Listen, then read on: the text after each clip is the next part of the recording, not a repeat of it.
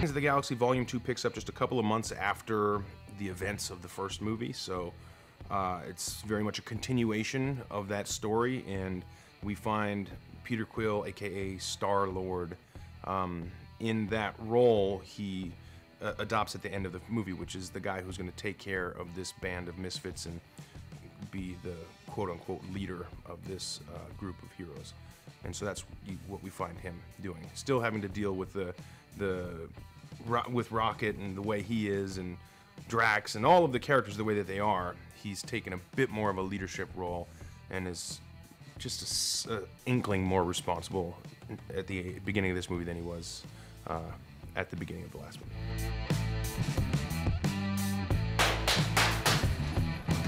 Gamora is realizing that Nebula's strength and power and uh, is they're much more greater. They're just greater than hers.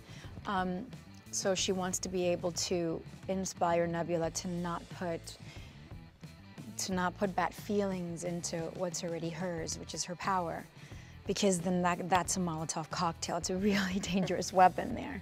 And I think that Gamora is the one that kind of senses it. And it's your job as an older sibling to do that.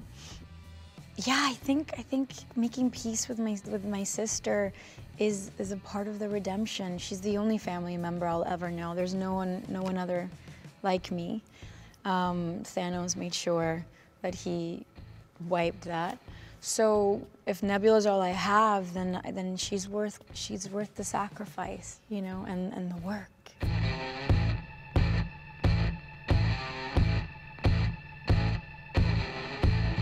One of the reasons why uh, I've really enjoyed this uh, type of film that James is making is it's spectacular and of another world, yet it seems so kitchen sink drama. It, it, seems like such a movie that you can relate to. All everything seems so human. So you have this tree and this uh, uh, mechanized raccoon who feel very much like people you may have grown up with or you know. And uh, James just has his finger on the pulse of humanity uh, in that in that way. They were not looking at you funny. You got anger issues. Mature yourself!